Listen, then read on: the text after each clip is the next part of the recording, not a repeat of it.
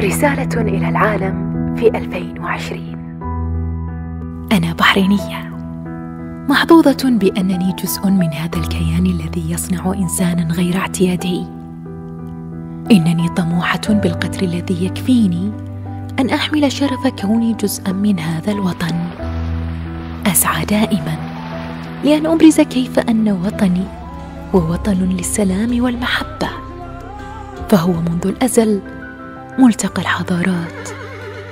وهو مهد للخير الذي نعتبر نحن امتداده. أعمل جاهدة لخدمة مواطني هذه الأرض أينما كنت حول العالم. إنني مبعوثة للخير. أفخر جدا حينما يقولون عني إنها دبلوماسية. أتمنى أن أكون أهلا لهذه الثقة. لأن أحمل البحرين في صدري.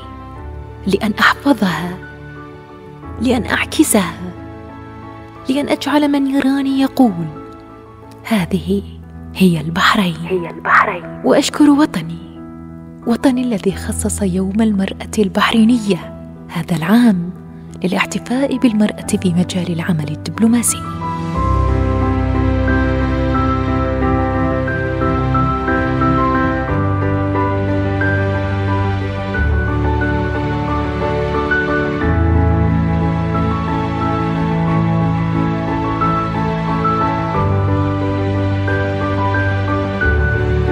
إذاعة البحرين بالتعاون مع إدارة الاتصال بوزارة الخارجية.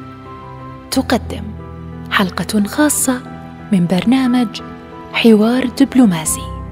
إعداد وتقديم سبيك الشحي. تنسيق ومتابعة وفاء خليفة. إخراج راشد سند.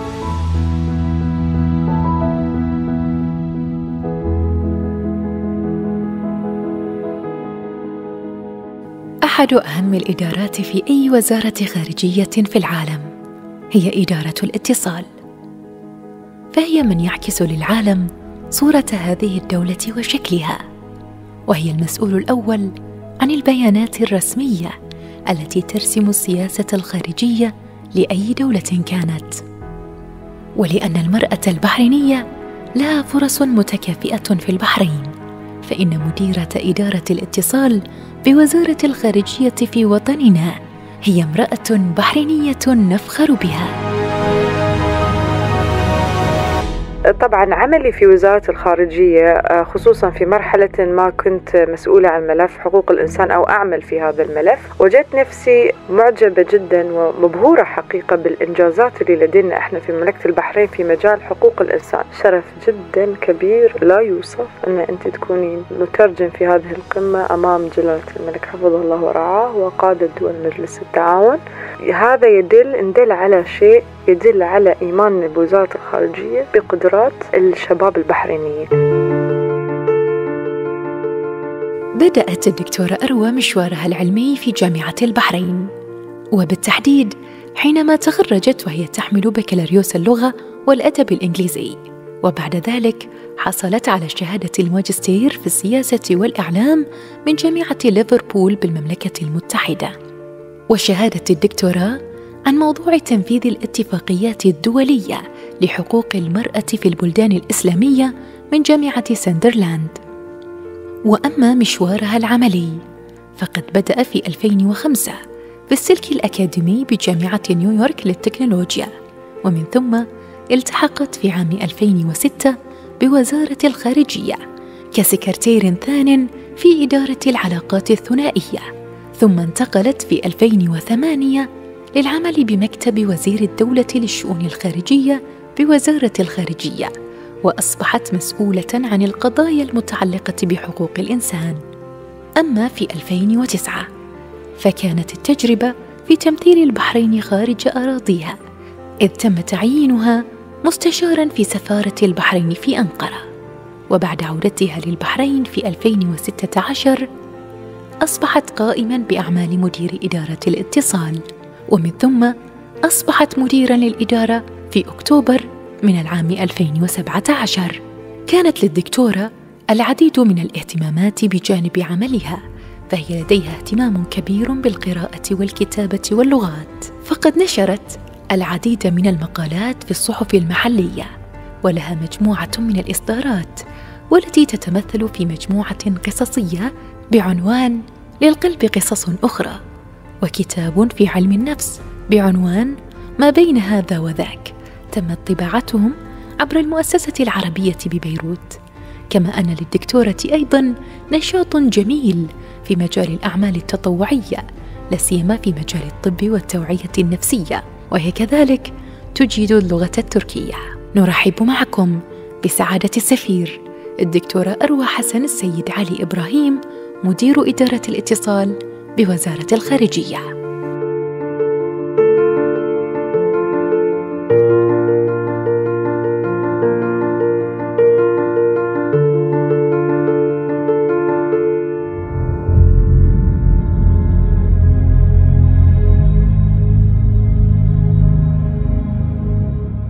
يا هلا مرحبا فيكم مستمعينا في حلقة جديدة من برنامج حوار دبلوماسي وحلقة هذا اليوم مميزة لأن ضيفتنا هي امرأة دبلوماسية نفخر فيها نسمع فيها كثير آه، من خلال آه، وجودها في إدارة الاتصال كمديرة لهذه الإدارة الهامة في وزارة الخارجية.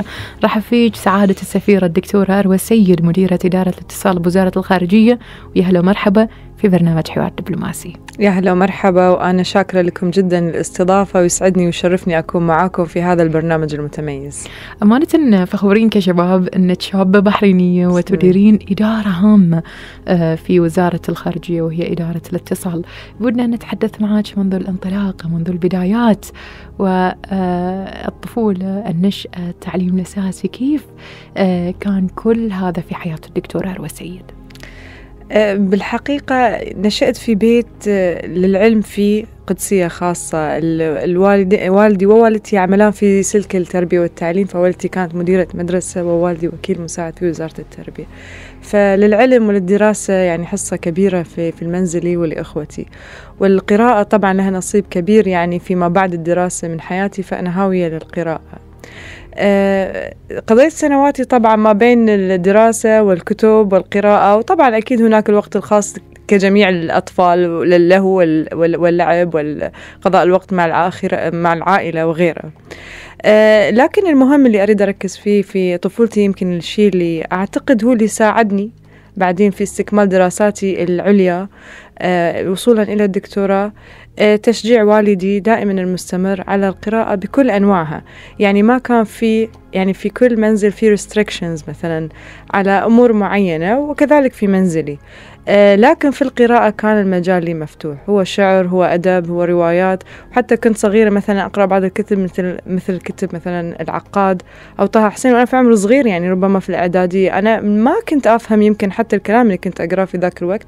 لكن أعتقد آه، اللي كنت أقرأه هو الذي آه، خلاني أشعر دائما أن أنا في حاجة مستمرة للعلم لنهل المزيد للتعلم أكثر. ولا أزال طبعا إلى هذا الوقت أشعر. إني مهما تعلمت فأنا لا أزال لا أزال يعني لم أتعلم شيئا. آه هذا الشعور بالفعل يجب أن يكون موجود عند الإنسان الشغوف وسعادتك. يعني إنسانة شغوفة بعملك شغوفة بالعمل الإعلامي بالعمل الدبلوماسي. ولكن هل هذا آه الوجود في بالقطاعين كان باختيارك ولا أن الصدفة هي من وضعتك في هذا الدرب؟ آه، شوفي عزيز يوم آه، خلصت المدرسة طبعا أنا تخصصت في آه، كنت في الأدبي ذاك الوقت في مسار علمي ومسار أدبي وتجاري. أنا كنت في الأدبي لأني مثل ما تكلمنا يعني أهوى الآداب والقراءة. بعدين وجدت نفسي أن في الجامعة رغم أن تأسيسي أكثر باللغة العربية بغيت أني أدخل في الأدب الإنجليزي لأطلع أكثر أطور من لغتي وأطور من اطلاعي على الثقافات الأخرى.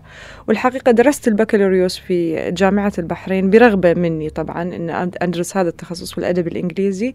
واللي فتح لي طبعا آفاقي وأبواب كثيرة للتعرف على نوع آخر من الأدب ونوع آخر من الثقافة. الحقيقة تجربة كانت جدا مهمة في جامعة البحرين جامعتنا الوطنية نفتخر ونعتز فيها وبأساتذتنا الموجودين فيها طبعا واللي كان لهم فضل طبعا في تأسيسي في تلك المرحلة. آه، ولكن بعد ما آه، خلصت من دراسة الأدب الإنجليزي بغيت أني شوي أعمل شيء آخر. أنا من النوع اللي عندي مثلا ميول في أكثر من من من تخصص. بالضبط. فوجدت نفسي أريد أن أدرس شيء له علاقة أكثر بالإعلام وبالسياسة وهنا قدمت مباشرة على المملكة المتحدة في المجس... قدمت ماجستير في الإعلام الجماهيري والسياسة وتم قبولي وهناك بدأت محطة أخرى يعني في حياتي العلمية. المحطات في حياتنا أكيد تترك فينا آثار كثيرة. وخصوصا تجربة الدراسة في الخارج أضافت لك أكيد وأضافت للكثيرين اللي خاضوا هذه التجربة. كيف تصفين تجربة الدراسة في المملكة المتحدة؟ آه، صحيح. يعني آه، غير العلم اللي تتعلمينه لما تكونين في الخارج مثلا آه، في أحد الجامعات المعروفة وتكسبين العلم أنت تكسبين كذلك شيء آخر وهو التعرف على الثقافات. ففي المملكة المتحدة أنت مو فقط تتعرفين على الشعب الإنجليزي مثلا الموجود هناك بل هناك العديد من الشعوب من كل أنحاء العالم سواء تعمل أو سواء تدرس وإلى آخره. فالإنسان آه، الاجتماعي هذه فرصة كبيرة له أنه هو يجد آه، يعني انفتاح على ثقافات أخرى آه، أديان أخرى سيرى كم العالم متنوع كم الدنيا هذه كبيرة وكم إحنا مختلفين. هذا أتصور آه سبحان الله هذه المحطة فادتني جدا في عملي الدبلوماسي لأن أنت كذلك لا يمكن أن تكون دبلوماسي ناجح إلا إذا أنت كنت منفتح على الآخر متقبل للآخر.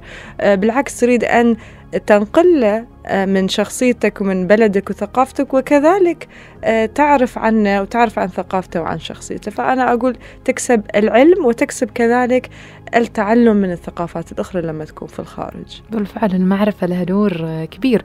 ودراستك للدكتوراه كانت في موضوع جدا مهم موضوع حساس نوعا ما وهو حقوق المرأة. ودنا نتحدث عن هذه التجربة وخصوصا انك خضتيها في سن مبكرة نوعا ما. لكن ما شاء الله يعني آه هذا الشيء جاء نتيجة لعملك المتواصل الخبرة اللي نهلتيها آه من مختلف القطاعات اللي عملتي فيها.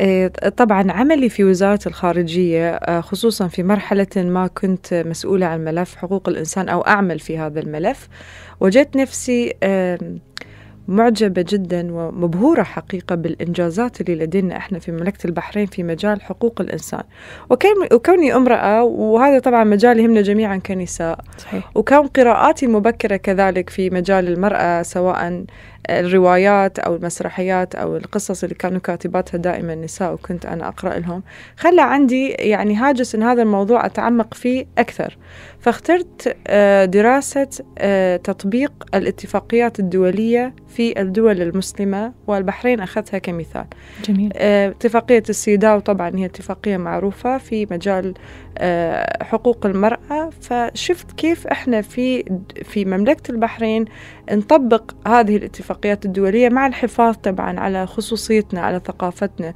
على سيادتنا. والبحرين فعلا أثبتت أنها دولة قادرة على أن هي تفي بالتزاماتها الدولية أمام المجتمع الدولي. وفي نفس الوقت آه، تحافظ على خصوصيتها وعلى ثقافتها وعلى ثقافة الشعب وعلى الدين. هذه الموازنة اللي الموجودة في مملكة البحرين هي شيء جدا آه، نفتخر فيه شيء شيء صعب تحقيقه الحقيقة آه، في العادة لكن مملكة البحرين استطاعت أن هي تحققه. طبعا الدراسة كانت متعمقة خصوصا أنها هي كانت دراسة دكتوراه. وتطبيقك أو دراستك أمر قامت به مملكة البحرين. آه، بالفعل آه، يمكن جعلك تصلين إلى مجموعة من النتائج اللي نحتاج أن نطبقها على أرض الواقع. بدنا نتحدث أكثر عن طبيعة الدراسة عن النتائج اللي وصلت لها الحقيقة قمت بسيرفي أو استطلاع يسمونه يمكن أكثر من 550 عينة. وقت دراستي الدكتوراه يمكن كان آه، خمس أعوام يعني خلصتها في 2015 المهم يعني بالإجمال نتيجة الدراسة أن لما سألت في الاستطلاع أنتم النساء في البحرين مختلف القطاعات تم توزيعها ربات بيوت عاملات طالبات إلى آخره. طبعا هو استطلاع مفصل بس أنا بعطيتش الخلاصة. يعني هل أنتم تشعرون أن في البحرين لديكم حقوقكم؟ هل تشعرون في البحرين أن إحنا عندنا تقصير نوعا ما في مجال ما؟ هل تريدون أكثر من 90% كانوا مقتنعين أن أنا في مملكة البحرين عندي حقوقي ك... كامرأة. وهذه فعلا شيء لما كنت أناقش البحث يعني في مع المشرفة الخاصة بي وفي الجامعة أقول لهم هذا الاستطلاع يعني يري أن الناس من نفسها ترى بأن التشريع أن الدولة أن المجتمع حتى وثقافة المجتمع عاطية المرأة حقوقها اللي هي تحتاجه طبعا في كل مجال إحنا نحتاج لتطوير وتحسين. أي دولة لديها أساس قوي هي الدولة اللي تطور وتحسن. وهذا الأمر اللي إحنا في البحرين الحقيقة دائما نسعى إلى تطويره. فهذه هي النتيجة الرئيسية اللي طلعت فيها أنا من من البحث. ارتياح كبير حقيقة كان من وضع حقوق المرأة ووضع المرأة خلينا نقول بالإجمال في مملكة البحرين. الحمد لله. إحنا في أرض تقدر المرأة الحمد لله أيضا آه يعني إلى جانب عملك آه نعلم أن لديك العديد من الهوايات مثل القراءة الكتابة. خلينا نتحدث عن القراءة في البداية وكيف أثرت القراءة على طريقة تفكيرك وطريقة حياتك؟ لما نقرأ فإحنا أنا أؤمن يعني نعيش أكثر من حياة. لأن أنا لما أقرأ في الأدب الروسي أو الأدب الإنجليزي أو حتى في الأدب العربي أقرأ لكتاب من مصر ومن لبنان والعراق وسوريا. أنا مش بس قاعدة أقرأ الرواية أو الشعر أنا قاعدة أطلع على ثقافة شعب على تاريخ شعب. يعني أنا بقول إن معلوماتي في التاريخ مثلا في أوروبا أو في آه، أي في روسيا أو الوطن العربي جاءت أكثرها حقيقة مش من دراسة كتب تاريخ بل من قراءة روايات وقصص في هذا المجال. فالقراءة تخليك مطلعة على ما يدور حولك ليس فقط الآن بل حتى من مئات السنين. بطريقة ممتعة بطريقة سلسة. يعني الواحد يمكن لو يدرس ثقافة شعب كدراسة أو ياخذ التاريخ ككتاب تاريخ راح يعني يتشتت ويمل وهو يقرأ. لكن لما يقرأها كرواية فهي فعلا ترسخ في باله. فأقدر أقول كذلك إن قراءاتي ل يعني تأثرت كثيرا بقراءاتي لغادة السمان آه بقراءاتي لجبران خليل جبران لتوفيق الحكيم. أسماء كثيرة يمكن الآن ما تحضرني. وال وال والشيء المهم اللي أقوله أني الحمد لله قرأت كثيرا لما كنت في مرحلة الدراسة والمرحلة الجامعية لأن هي المرحلة اللي فيها الواحد يعني ترسخ في في ذهنه ال ال الأفكار أو الأشياء اللي يتعلمها. بعدين فعلا لما الواحد يدخل في العمل يتمنى يصير عنده ذاك الوقت يحاول من الحين للآخر أنا أحاول إني أحافظ على هذه الهواية وإني أقرأ. لكن حقيقة أنا مستندة أكثر الأشياء اللي كنت أقرأها في الوقت اللي كنت فيه أقرأ جدا يعني في السابق. جميل جدا. وأتوقع هذا الأمر وحبك وشغفك بالقراءة دفعك إلى أيضا حب وشغف الكتابة. كيف انطلقت آه آه هذه التجربة في آه إصدارك؟ أتوقع مجموعة من الإصدارات المقالات والقصص اللي إيه. تم نشرها بالصحف المحلية وأيضا لك كتاب يضم آه، مجموعة قصصية. آه يعني صح. هذا العالم هو عالم جميل جدا. آه، أنا حقيقة ما ما ما أعتبر نفسي كاتبة محترفة، يعني أنا الكتابة لي بالنسبة لي هي هواية، هي متنفس، هي طريقة لأعبر فيها عن أفكاري، عن مشاعر، عن ما أرى، ما أسمع، كل إنسان له طريقة للتعبير وأنا أجد الكتابة، لذلك بقول إن من محاولاتي كانت كتابة مجموعة قصصية قصيرة اسمها القلب قصص أخرى طبعتها في بيروت. ومقالات كانت تنشر في ذاك الوقت في صحيفة آه، الوقت وفي صحيفة الوطن. كنت من الحين إلى الآخر خصوصا أيام دراستي الجامعية أحب أكتب مقالات.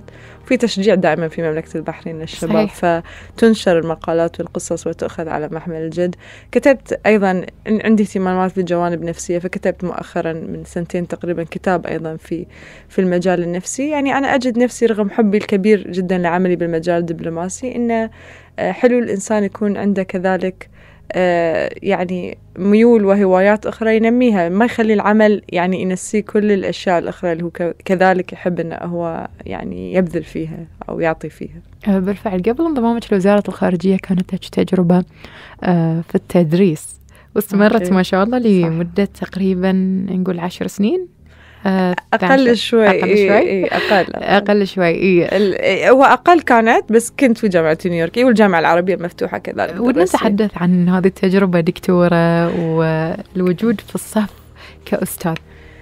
الحقيقة لأن مثل ما تكلمنا أنا لأن نشأت في بيت آه، كل يعني جميع في يعملون في سلك التعليم والدي ووالدتي وحتى أخي الكبير و وجزء كبير من عائلتي فالتعليم عندي هواية وباشن مثل ما يقولون نعم. شغف وكنت ربما لو لم أكن في المجال الدبلوماسي لاخترت المجال الأكاديمي لأن آه، وقوفي أمام آه، طلبة في صف وشعوري بأن أنا قاعدة أغير شيء ولو بسيط في تفكيرهم آه، أعلمهم لو شوي بسيط طريقة فكرة جديدة أو ألفت نظرهم لشيء في الحياة هذه حقيقة من أك أكثر المشاعر اللي أنا كنت أستمتع فيها. فالتعليم حقيقة للي يحبه أعتبره من أكثر المهن المشرفة والهامة واللي أنت مو أنت تربين جيل وتغيرين طريقة تفكير جيل وإلى آخره.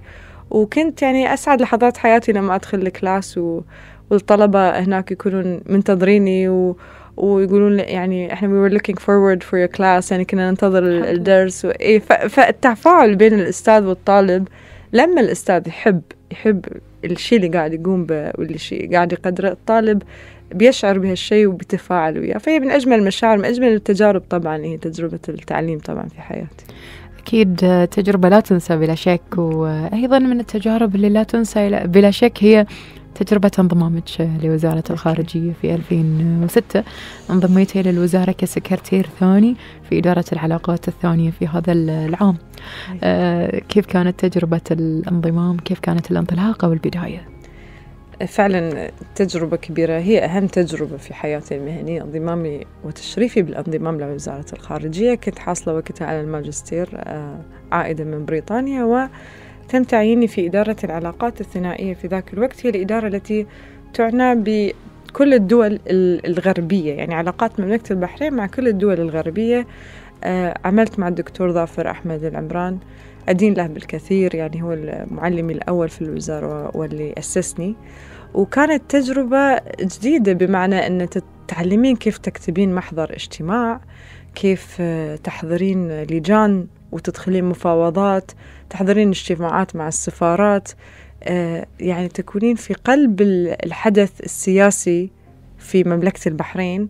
وأنا في ذاك العمر الصغير يعني الأحداث اللي كنتي تشوفينها في التلفزيون يعني تشوفين نشرة الأخبار آه تشوفين نفسك أنا في أنا الآن في في عملية صنع الخبر أو صنع السياسة. فكانت شيء حقيقة جدا مبهر. ووجدت نفسي أن هذا المكان فعلا اللي أنا يعني أنتمي له أو أشعر بالانتماء له. البدايات أكيد لابد أن يكون معانا فيها أصحاب. ومن الأشخاص اللي كانوا معانا على الخط آه، الأستاذة بدور آه، صلاح وهي مستشارة حاليا بإدارة حقوق الإنسان بوزارة الخارجية. آه، مساك مساك الله بالخير أستاذ بدور. يا هلا مساء النور. حياك الله ونورتينا وشرفتينا في برنامج حوار دبلوماسي. اليوم إحنا متشرفين فيكم انت والثنتين الدكتورة أروى وأيضا آه، بك أستاذة بدور. ودنا نتحدث عن البدايات وفترة انضمامكم لوزارة الخارجية والعمل مع سعادة آه، السفيرة الدكتورة أروى. لما كنتوا بالتحديد في إدارة العلاقات الثنائية. أي نعم. بدأت معرفتي الفعلية بالدكتورة أروى أه لما كنا في مثل ما قلتي إدارة العلاقات الثنائية تحت إدارة سعادة الدكتور ظافر أحمد العمران. واستمر عملنا معا في الإدارة لمدة ثلاث سنوات تقريبا. إلى حين نقلي أنا إلى البعثة الدائمة مملكة البحرين لدى مكتب الأمم المتحدة بجنيف ونقل الدكتورة أروى إلى سفارة مملكة البحرين في أنقرة.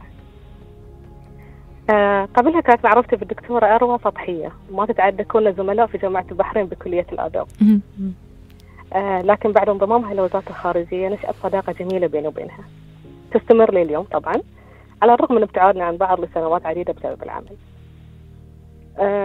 من الأيام الأولى كان بإمكاني إني أحس بشغفها وأخلاقياتها سواء في العمل أو في حياتها الخاصة. مع مرور الوقت لقيت يعني لقيت في الدكتورة أروى مثال ونموذج لامع ساهم في رفع مكانة الدبلوماسية البحرينية. تعزيز مسيرتها بال يعني على كافة المستويات. طبعا هذا إلى جانب كونها قدوة للفتاة والمرأة البحرينية لتطمح في الانضمام إلى مجال العمل الدبلوماسي بسبب مسيرتها المتميزة وأنا كان لي الشرف إني أشتغل مع الدكتورة أروى في بداياتي طبعا ويعني أنا سعيدة جدا إني أشوفها اليوم آه، سفيرة ومديرة إدارة الاتصال بوزارة الخارجية أكيد نتمنى آه. لكم كل التوفيق عزيزتي بدور أنا الشرف لي حقيقة أن أنا اشتغلت معاك. أنت مثال للمرأة بحرينية نفتخر فيها بدور. مثل ما ذكرت اشتغلنا مع بعض آه، في إدارة العلاقات الثنائية. عمل كثير لكن آه، وجود بدور خلى العمل آه، في متعة وفي بهجة. أن أنت تعملين مع مع الزملاء رغم ضغط العمل هم في نفس الوقت أصدقاء نرفع معنويات بعض نساعد بعض. التيم ورك يعني بمعناه الحقيقي. هذه نعمة حقيقة كبيرة. وبدور اشتغلت في جنيف في بعثتنا الدائمة هناك في مجلس حقوق الإنسان لسنوات عديدة والكل يشهد لها بإنجازاتها. يعني أحد أهم البعثات وأهم الملفات في في جنيف. كانت الأخت بدور مسؤولة عنها. فالحقيقة مش أنا اللي فخر للمرأة البحرينية هي كذلك نموذج آه، آه، كبير نفتخر فيه الحقيقة وأتمنى أن, أن الكثير من دبلوماسياتنا يكونون مثل الأخت بدور صداقتها وزمالتها في وزارة الخارجية. هي مكسب حقيقة لي وأنا جدا أشكرها على هالمداخلة الجميلة الحقيقة اللي يعني أتشرف فيها طبعا. شرفتينا ونورتينا أستاذة بدور آه، في برنامج حوار دبلوماسي. شكرا كان لي شرف. شكرا. أختي كان معنا على الخط الأستاذة بدور صلاح مستشار بإدارة حقوق الإنسان بوزارة الخارجية. نواصل معنا نواصل آه، حديثنا معاك سعادة السفير الدكتورة أروى السيد. وأكيد آه، بنتحدث أكثر وأكثر عن عملكم في وزارة الخارجية. آه، البداية كانت في إدارة العلاقات الثنائية بالوزارة. تعلمت كثير من هذه التجربة. يمكن ذكرتي وذكرت أيضا الأستاذ بدور هذه البدايات. وقالت أن تركتوا بعد آه، سفركم آه، إلى سفرها هي إلى جنيف وسفرك إلى آه، أنقرة. ولكن قبل هالشيء انتقلتي إلى العمل في ملف حقوق الإنسان في نعم. مكتب وزير الدولة. ودنا نتحدث بشيء من التفصيل عن هذه المرحلة اللي مهدت لابتعاثك في أنقرة. صحيح مرحلة العمل في ملف حقوق الإنسان كذلك هي محطة جدا مهمة في حياتي المهنية في ذاك الوقت. طبعا أنا كنت محظوظة بإني أكون ضمن الفريق اللي كان مسؤول عن آه، كتابة آه، تقرير البحرين الأول للمراجعة الدورية الشاملة لحقوق الإنسان. المراجعة الدورية الشاملة هذه أو الاستعراض الدولي الشامل هذه كانت آلية جديدة في ذاك الوقت في 2007 آه، إن يختارون دول تدرس وضع حقوق الإنسان على أراضيها في كافة المجالات وتقدم تقريرها إلى مجلس حقوق الإنسان. البحرين كانت أول دولة على مستوى العالم تقدم هذا التقرير. بالقرعة إيه نعم. بالضبط بالضبط. فتجربة جديدة تشالنج أو تحدي كبير والبحرين نجحت فيه طبعا بكافة المستويات. كتابة التقرير لا أزال إلى الآن أذكرها. ما كانت مجرد أن إحنا نجلس في المكتب ونجمع معلومات ونكتبها. قمنا كنا فريق. مكون من عدة أشخاص أوجه لهم طبعا جميعا تحية وكان وزير الدولة كذلك هو اللي مسؤول عن الملف. أه، نذهب في زيارة ميدانية للجميع. الجميع المعنيين سواء جهات حكومية أو جهات أهلية جمعيات المرأة الطفل الجمعيات السياسية وإلى آخره. أه، نشاورهم ونقول لهم شنو رأي الوضع ترونه شنو التوصيات؟ شنو المقترحات؟ وإلى آخره. وناخذ هذه المعلومات ونضمنها في التقرير. فالتقرير كان مميز لأنه كان بمشاركة كافة المعنيين بكامل الشفافية آه، والدقة. ولذلك حظى على إشادات وكان في طبعا توصيات وهي الآلية كذلك أن توصيات تطلع بعدين من المجلس آه، أن يتم تنفيذها والبحرين عملت ولا تزال تعمل والآن طبعا وزارة الخارجية مسؤولة عن هذا الملف والجميع يعني يعرف دون أن نعيد النجاحات الكبيرة اللي قاعدة تحققها مملكة البحرين في هذا الملف بالذات اللي هو إحنا من بداية النهج الإصلاحي لجلالة الملك حفظه الله ورعاه وإحنا نحقق الإنجاز تلو الآخر في كل المجالات وحقوق الإنسان طبعا آه، من أهمها. فيشرفني أني أنا كنت جزء ولو بسيط جدا من أني أنقل الصورة الحقيقية لوضع حقوق الإنسان والصورة المشرفة حقيقة لمجلس حقوق الإنسان في الأمم المتحدة. إحنا بهذا الأمر أكيد نكون فخورين فيك بكل العاملين على آه هذا الملف الحقيقي الملف الهام اللي البحرين تبنته وأحسنت آه، فيه. بنتحدث أكثر عن حقوق الإنسان في مملكة البحرين وأبرز الإنجازات من واقع عملكم آه، في هذا الملف بالتحديد. إنجازاتنا في مجال حقوق الإنسان أعتقد يعني يشهد لها القاصي والداني هي ليست بخفية على أحد لأن إحنا في مملكة البحرين ومنذ بداية النهج الإصلاحي لجلالة الملك حفظه الله قاعدين نحقق هذه الإنجازات برؤية يعني هي جاءت نتيجة رؤية وتصميم وعمل حقيقي على أرض الواقع. فهي ليست مجرد عملية تقديم تقارير هي مسألة واقع نعيشه إحنا في جميع المجالات والتنمية والازدهار اللي إحنا قاعدين نشوفها في البحرين. هو نتيجة لهذا العمل المخلص والرؤية الواضحة للقيادة. فأعتقد بأنه آه الإنجازات كثيرة لا يسعني المجال لأن أحصرها الآن بل هي إنجازات يعلم عنها الجميع في سواء في ملف حقوق الإنسان أو كافة مجالات التنمية في مملكتنا التجربة التالية كانت آه تجربة الابتعاث أو السفر والغربة. المرة الأولى كانت للدراسة في بريطانيا والمرة الثانية كانت لأنقرة للعمل. آه، بالتحديد كنتي في بعثة مملكة البحرين آه، في أنقرة. آه، كيف كانت رحلة العمل هذه وكيف تقبلتي خبر الابتعاث؟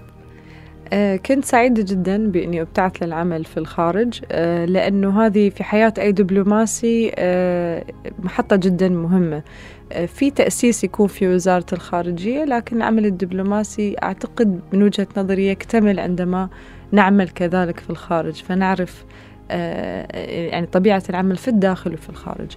الجميل في العمل في الخارج طبعا هو تحدي آخر آه، جميل وصعب في نفس الوقت لأن أنت هناك لوحدك فأنت لازم تأسس حياتك الكاملة الاجتماعية آه، والعائلية بالإضافة لأنك تركز على حياتك المهنية هناك وأن أنت تجعل البحرين حاضرة في كل سكناتك وتحركاتك. يعني إحنا نذهب إلى هناك نضع أمامنا مصلحة مملكة البحرين ونقل الصورة المشرفة لمملكة البحرين وكيف إحنا ممكن آه آه نستفيد أو مملكة البحرين حقيقة هي التي تستفيد من علاقاتنا مع هذه الدول. فلما تكون دبلوماسي في الخارج أنت هي مسؤولية كبيرة لأن أنت لما تكون آه، ليس فقط آه، أوقات الدوام الرسمي بل حتى آه، خارج أوقات الدوام الرسمي. الكل يعرفك أنت دبلوماسي من هذا البلد فالكل فتحس أن المسؤولية أن أنت تحمل بلدك في تصرفاتك في تحركاتك في كل مكان. فلما الناس تشوفك ما بيقولون أن هذه أروى لا بيقولون هذه الدبلوماسية البحرينية. يعني تخيلي حجم المسؤولية والتشريف طبعا في نفس الوقت. فالواحد يتمنى دائما لما يكون في الخارج أنه هو ينقل صورة بلد عاداتنا تقاليدنا ثقافتنا أخلاقنا إحنا كبحرينيين للخارج بشكل مشرف. أه، بالفعل. أه، تعلم اللغات أه، في حياتك أكيد أضاف الكثير للتجربة الدبلوماسية. وأمانة لما اقتربت منكم في إدارة الاتصال أعجبني وأبهرني كيف أن البحرين تسعى أن أغلب دبلوماسي دبلوماسيينها يمتلكون آه، اللغات المتعددة. آه، حدثينا عن تجربتك مع اللغات. الأولى يمكن في اللغة الإنجليزية بجدارة وتميز اللغة التركية. آه، حدثينا عن هذا الأمر. طبعا التأسيس باللغة العربية وهذا شيء أفتخر فيه وأراه جدا مهم. أن أنا قبل ما أتعلم اللغات الأخرى الجدا مهمة أن إحنا كدبلوماسيين نحافظ على لغتنا العربية هي لغتنا الأم هي لغة هويتنا. وبعدين يجي طبعا أهمية تعلم اللغات لأن اللغات تفتح لك الباب للتعرف على ثقافة الشعوب الأخرى. وتخليك أقرب للمجتمع اللي أنت فيه. فطبعا تعليمي باللغة الإنجليزية بعدين كان my second language أو لغتي الثانية وجاء بعدين تعلمي للغة التركية عندما كنت في السفارة في أنقرة. لسببين الأول أنا أحب أعتمد على نفسي دائما. في بلد آه، مثل تركيا الغالبية لا تتحدث اللغة الإنجليزية. نعم. فتعلم اللغة التركية راح يسهل كثير أمور حتى في حياتي ومعاملاتي اليومية. آه ثانيا آه هو يخليك أقرب للناس. أقرب للاطلاع على على على آه، تفكيرهم ثقافتهم طريقة حياتهم. آه، حتى أنت تعرف يعني أكثر عن هذه البلد فأنت في فرصة إذا أنا فقط أتكلم اللغة الإنجليزية آه، هناك ما راح يكون عندي الفرصة أني أقترب من كافة شرائح المجتمع صحيح. والناس. وفي مثل تركي تعلمته هناك يقول bir dil bir insan iki dil iki insan. بمعنى لسان أو لغة واحدة هي إنسان واحد لغتين هي إنسانين. فأنت لما تتعلم لغات أكثر كأنك تصبح أكثر من شخص في نفس الوقت وهذه حقيقة. يعني يصير عندك قدرة أنك تتأقلم مع مختلف الشعوب والأشخاص والثقافات. آه، طبعا 2015 كان هو عام العودة للبحرين. آه، حدثينا عن هذه العودة وما هي الرؤى والأمال والأحلام اللي آه، حملتيها معك من تركيا للبحرين؟ الحقيقة الواحد بعد ما يعني عمل في الخارج لسنوات آه، يشعر في مرحلة ما أن خصوصا بعد ما أحس أنه أدى وأعطى آه، قدر ما يمكن أنه هو الآن ربما حان وقت العودة وهذا فعلا ما كان. كنت أريد أن أعود وأنا طبعا عدت من تركيا يعني كنت يعني محظوظة أني أنجبت أبنائي هناك فعدت بعائلتي يعني عدت بأبنائي الصغار. في ذاك الوقت إلى مملكة البحرين. آه، لنكمل حياتنا هنا. وكنت أريد أن كذلك أبتدي شيء جديد. أنا من النوع اللي صح كل عملي في وزارة الخارجية بس مثل ما تلاحظين إنه كل فترة تكون في ملف مختلف. وشاءت الظروف طبعا إن أنا آه، أنتقل للعمل في إدارة الاتصال في عام 2016 هذه محطة جديدة وشيء جديد أنا قمت به تسلمتي تسلمتي منصب القائم بأعمال إدارة الاتصال. في, في في هذا العام يعني سريعا. فكيف كانت آه، الانتقال من العمل السياسي للعمل الإعلامي؟ نعم أنا يعني ما بقول إني انتقلت تماما من السياسي للإعلامي لكن آه، كنت كيف أوظف العمل الإعلامي في خدمة عملنا السياسي في وزارة الخارجية والترويج لسياستنا الخارجية. كان فعلا تحدي جديد. آه قاعدة أتعامل الآن كنت يعني في إدارة الاتصال مع آه مختلف وسائل الإعلام. آه نتابع الأخبار اللي تهمنا إحنا في وزارة الخارجية. راصد نشر أخبار ولكن العمل الإعلامي مش بس مجرد رصد أو كتابة أخبار كما يظن الكثيرون. هي عمل على أن أنت كيف تروج لسياستك الخارجية بأكثر طريقة فاعلة أكثر طريقة جاذبة. للجمهور في الخارج خصوصا اللي يتابعون آه، حساباتنا في مواقع التواصل الاجتماعي آه، طبعا من داخل مملكة البحرين ولكن الأكثرية من الخارج. ففي تحدي كبير أن أنت تنقل بأكثر طريقة فاعلة الإنجازات اللي دبلوماسيتك البحرينية أنت قاعد تحققها. فكان ذلك من اليوم الأول هاجسي يعني أنا كيف أطور العمل الإعلامي. في إدارة الاتصال بوزارة الخارج والمقترب من إدارة الاتصال يجد أن أغلب الأشخاص اللي يعملون في هذه الإدارة هم من العناصر الشابة والعناصر المبدعة. أه، بدنا نتحدث عن هذه المرحلة. أبرز التحديات اللي واجهتكم في تأسيس إعلام حي ومتفاعل وقريب من الجمهور في ذات الوقت. بالضبط. أنا أنا حظيت طبعا على دعم كبير من من الوزارة. في إني آه، أبحث عن العناصر البحرينية الشبابية اللي أنا فعلا أفتخر فيها آه، في الإدارة. والشباب خريجين جامعتنا جامعة البحرين آه، أغلبيتهم طبعا الموجودين هم اللي يقومون بهذا العمل الجميل اللي الناس تشوفه على وسائل التواصل الاجتماعي أو على كافة المنصات. أنا فخورة لأن عادة آه، الناس تعتقد أن إحنا نسوي الكثير من الحملات الترويجية مثل ما تعرفين الفيديوهات آه، ال posts infographics هالأشياء الحديثة في مجال الإعلام. الناس تعتقد أن هذه الشركات آه، فأنا أفتخر دائما أن أنا أقول لا هذه لين شباب بحرينيين هم اللي قاعدين يقومون بهذه الحملات الإعلامية. اللي أنتم قاعدين تشوفونها فهذا شيء أنا جدا أفتخر فيه وال credit طبعا يعود لهم. التحدي الأكبر اللي أنا كان آه، أمامي في في لما عملت في إدارة الاتصال ولا أزال آه، أن إحنا في وزارة الخارجية تعرفين طبيعة عملها. عمل سياسي.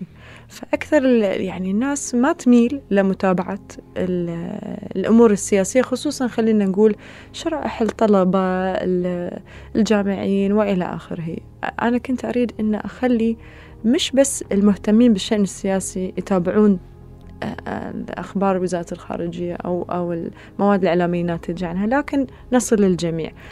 وهنا عملنا على عملية إعادة تغيير وإنتاج المحتوى. هنا يمكن تتكلمين عن تبسيط المعلومة بعيدا عن تسطيحها وهذا أمر بالفعل في غاية الصعوبة فإحنا نحييكم على جهودكم في إدارة الاتصال. آه، من من الأمور الجميلة واللي من المفت أن إحنا نتكلم عنها يمكن تدشينكم وإشرافكم لأول حملة سفر.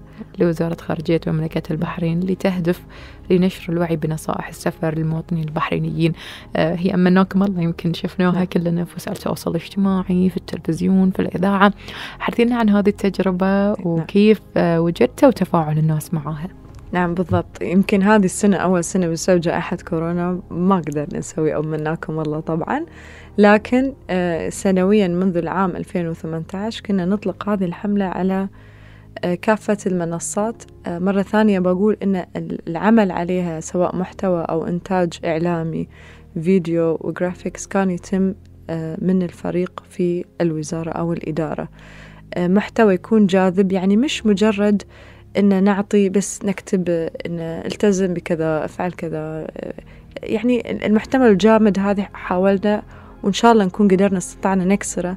نخلي نسوي فيديوهات قصيرة لل social media تجذب الناس تخلي الناس آه، تلتزم بهذه الإرشادات. نسوي infographics آه، نحط مثلا ننشر طبعا أرقام سفاراتنا الدائمة اللي على مدار الساعة للتواصل تعاوننا مع مطار البحرين الدولي في عرض إرشاداتنا. هني طبعا الإذاعة وتلفزيون البحرين ما قصروا كانوا دائما يروجون لهذه المواد. فكانت هذه الحملة سنة عن سنة آه، تتطور ولله الحمد. وسمعنا ردود أفعال آه، جدا حلوة الحمد لله من الناس استفادوا من الحملة. وأنت المتابع آه، للإنستغرام لوزارة الخارجية يقدر يشهد حجم التفاعل وأيضا حجم العمل اللي تقومون آه، فيه لما تنتجون آه، هذه المواد.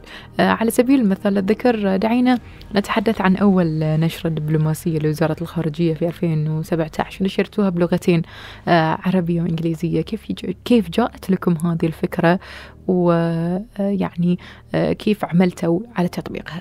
نعم لأن العمل الدبلوماسي ما شاء الله آه، في مملكة البحرين آه، كبير وهناك الكثير من التحركات المتسارعة. فالواحد قد تفوت الأخبار يعني ما, ما, ما يحدث طوال الشهر أو طوال الأسبوع. فمن هنا جاءت فكرة إطلاق النشرة الدبلوماسية التي تجمع أهم الأحداث التي حدثت في هذا الشهر. وبعض المقالات بعض المعلومات. يمكن وقفناها الآن من فترة كم شهر لأن قاعدين نسوي لها إعادة آه، إنتاج مرة أخرى إن شاء الله مع العام القادم.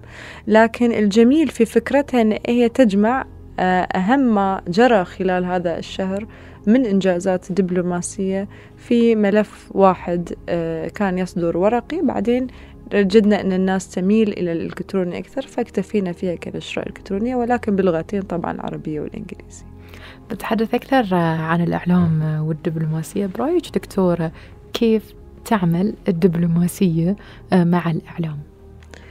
أنا أرى من تجربتي أن أي دبلوماسي ناجح يجب أن يكون كذلك آه، فيه إعلامي ناجح أو يمتلك على الأقل آه، بعض المهارات الإعلامية. آه، لسبب مثل ما الإعلامي قضيته أنه هو يحمل رسالة أو كلمة أو ينقل صورة كذلك الدبلوماسي نفس القضية يحيى قضيته يحمل آه، رسالة بلده إلى الخارج. صحيح. ومهم جدا أنه هو يكون منفتح مع وسائل الإعلام يعرف التعامل معها.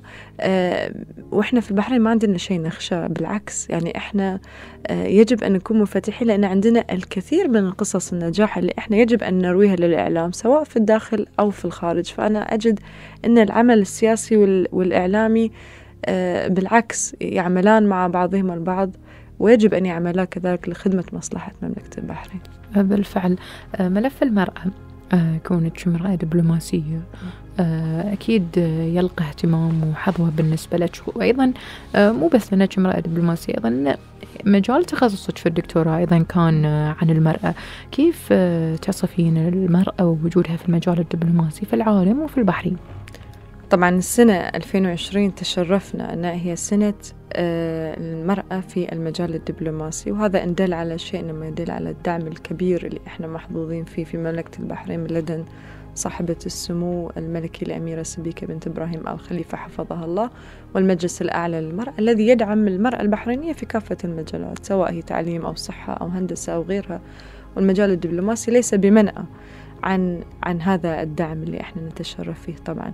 نفخر إن المرأة البحرينية تعمل في كل مجال في كل قطاع. هي حاضرة وهي موجودة وفي المجال الدبلوماسي موجودة منذ السبعينات أي منذ التأسيس. آه، قد يكون آه، النسب في البدايات قليلة ولكن هذا ليس غريب لأن لو تشوفين نسبة تواجد المرأة في في القطاع الدبلوماسي في كل أنحاء العالم هي نسب منخفضة. يعني هي شيء عالمي وبدأ يتزايد مع الوقت والبحرين كذلك. الآن إحنا أكثر من 30% من العاملات أو الموظفات وزارة الخارجية من الدبلوماسيات نساء وهذه نسبة تعتبر جيدة جدا. ونفخر أن أنت حين لو تشوفين بعثاتنا في الخارج ستجدين دائما أن العنصر النسائي موجود وبفاعلية. فالحقيقة وجود المرأة منذ التأسيس إلى الآن مو شيء غريب على مملكة البحرين في كافة القطاعات هي موجودة لكن أيضا أن نراها في المجال الدبلوماسي تحمل رسالة مملكة البحرين تتحمل الغربة في الخارج. صحيح. يعني تعيش هناك آه، في غربة وتعلمين الصعوبات اللي تواجهها لكن لأنها في سبيل آه، هدف أسمى وهدف كبير وهو خدمة وطننا طبعا. يمكن تحدثتي عن بعض الصعوبات آه، مثلا من جوابك لأبنائك خارج البحرين في تركيا. يعني أكيد خلال عملك الدبلوماسي واجهت العديد من التحديات وأي مرأة دبلوماسية قد تواجه تحديات شبيهة.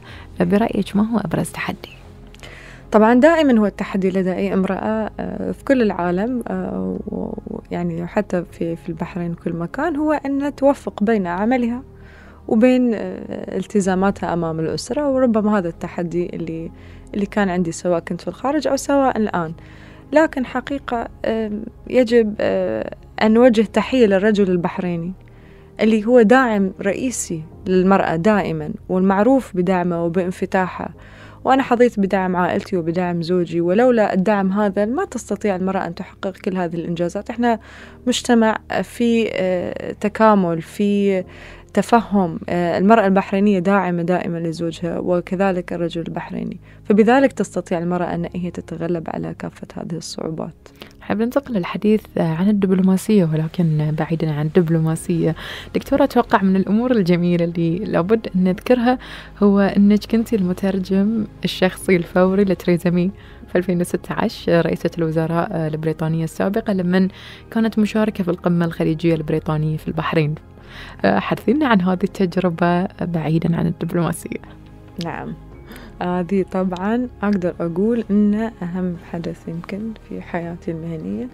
شرف جدا كبير لا يوصف إن أنت تكونين آه، مترجم في هذه القمة أمام جلالة الملك حفظه الله ورعاه وقادة دول مجلس التعاون مسؤولية كبيرة ولكن آه، هذا يدل إن على شيء يدل على إيماننا بوزارة الخارجية بقدرات الشباب البحرينيين. وإيماننا طبعا بمملكة البحرين إن إحنا آه، في مختلف المناصب مختلف المهام آه، ندعم ونقدر ونعطي الدور للبحريني الذي يثبت دائما آه، بسبب حبه لقيادته ووطنه أنه هو قادر على أن يقوم بأي شيء. بالفعل. وبعيدا عن الدبلوماسية أمانة عندك العديد من الأمور اللي تقومين فيها دكتورة. يعني على سبيل المثال آه، شاركتي في العديد من المؤتمرات الأكاديمية في فترات آه، يعني معينة من من حياتك. آه، كيف تجدين هذه التجربة؟ وكيف استطعتي التوفيق بين العملين في ذات الوقت؟ أنا أحب مثل ما تكلمنا أحب التعليم وأحب الأكاديمية. يعني هي تبقى دائما يعني هواية أو أو أو يعني شيء أنا أحب القيام به. لأنه دائما لما أحب أخذ بريك من ضغوطات العمل أجد نفسي أقوم ببحث ما أو أتعمق بموضوع ما سواء في موضوع يخص المرأة أو العمل الإعلامي أو النفسي أو أو غيره. لدي يعني الكثير من الميول. أستطيع أن أوفق لأني أنا دائما أعتبر العمل هو الشيء الرئيسي في حياتي ولكن هذه الأمور الأخرى هي الهوايات اللي أجد فيها المتنفس أني أنا أقوم بالأشياء التي أنا كذلك أستمتع فيها. فيستطيع الإنسان طالما الإنسان آه، عنده الطاقة وعنده الحمد لله الصحة وعنده الباشن أو الشغف يستطيع القيام بالكثير من الأشياء مش بفقط شيء واحد. صحيح. لما ذكرت الشغف آه هذا الكلمة فتحت لنا باب للحديث عن الأمور اللي ما نعرفها عن الأمور الخاصة اللي تقوم فيها الدكتورة أروى السيد في أوقات فراغها. يعني أنا لدي شغف مثل ما تكلمنا بالعديد من الأمور. آه، قد يكون قضاء الوقت أو القيام بفعاليات خاصة بالأطفال هي أحد الأشياء اللي أنا أستمتع بالقيام بها كثيرا مع فريق من آه، من الأصدقاء. نحاول دائما من وقت لآخر نقوم بفعاليات خاصة بالأطفال. وجودي مع الأطفال دائما أنا أقول لهم آه، يذكرني بالجانب الجميل بالإنسان الجانب الجميل بالحياة. فلما تشوفين الطفل ببراءته رغم رغم ان في ناس يعني تحس انه يعني أنت إحنا عمل وضغط وأخرتها بعد أطفال وتجمعات للأطفال وهيلة وكذا. أقول بالعكس لما تشوفين الأطفال تقعدين معاهم أنت تجي يعني ترين الوجه الجميل للإنسان. فيمكن هذا السبب اللي يخليني دائما إذا ما تجديني في عملي ستجديني ولا ومو قاعدة أقرأ أو مسافرة لأن أنا أحب السفر كذلك طبعا بكون موجودة أكثر شيء مع الأطفال أمانة تجربة جميلة نفتخر فيها في مملكة البحرين. أه بالرغم من يعني صغر سنك لأن أنت قدرتي مثل ما قلتي أن أنت تكونين في العديد من المجالات. فاسمحي لنا أن إحنا أه نقول لك كثر إحنا فخورين فيك في مملكة البحرين. سلمين. وطبعا قبل أن نختم هذه الحلقة أه بودنا أن نتحدث عن القادم الجميل. ماذا ترى الدكتورة أروى في المستقبل؟ القادم أنا بالنسبة لي آه، أؤمن بشعار آه، أينما أنبتك الله أزهر. فأنا أينما سأكون في أي مكان في أي موقع في أي مهمة آه، سأحرص دائما على أن أعمل الشيء الذي أخدم فيه. طبعا بعد الله سبحانه وتعالى وطني. وبلدي وقيادتي. فمجالات كثيرة وأنا أرى دائما الحياة فيها فرص كثيرة ومتنوعة وعديدة وأن الإنسان يجب أن يستغل هذه الحياة بأنه يخرج منها ولو سوى تغيير جدا بسيط. يمكن ما يقدر يغير وايد مثلا في كل شيء حوله إلى الأفضل طبعا لكن يحرص أنه هو هذه الحياة يكون تارك فيها أثر طيب في قدر الإمكان أو سوى تغيير للأفضل قدر الإمكان في أي مكان كان فيه سواء كان في عمله في كان في دراسته كان في أسرته أو إلى آخره. فأنا حاطة هذا الشعار دائما أمامي فأينما أكون سأحاول أن أزهر أحاول أن أفعل الشيء الذي يجب فعله. بإذن الله تزهرين دائما كما أنت مزهرة. تسلمين عزيزتي. كل الشكر والتقدير لك سعادة السفيرة الدكتورة أروى السيد مديرة إدارة الاتصال بوزارة الخارجية على قبولك دعوتنا في برنامج حوار دبلوماسي. وأكيد لابد من كلمة ختامية. أنا أشكركم جزيل الشكر عزيزتي سبيكة. يجب أن أقول أن أنت كذلك من الطاقات البحرينية اللي إحنا نفتخر فيها حقيقة. وأنا تشرفت في هذا الحوار وأشكر إذاعة البحرين على حرصها على أنها آه، تستضيف دبلوماسيين البحرينيين وتظهر قصص النجاح هذه آه، للعالم. أنا تشرفت جدا بوجودي معكم وأتمنى أن أكون استطعت أن أنقل آه، تجربتي أو الأشياء الإيجابية في تجربتي عبر هذه الحلقة. شاكرا لك. وإحنا أيضا تشرفنا. إذا مستمعين بهذا نكون وصلنا معاكم إلى ختام حلقة اليوم من برنامج حوار دبلوماسي. على أمل نحن نلتقي معاكم في حلقة قادمة. تقبلوا منا أجمل. وأعذب التحايا في أمان الله.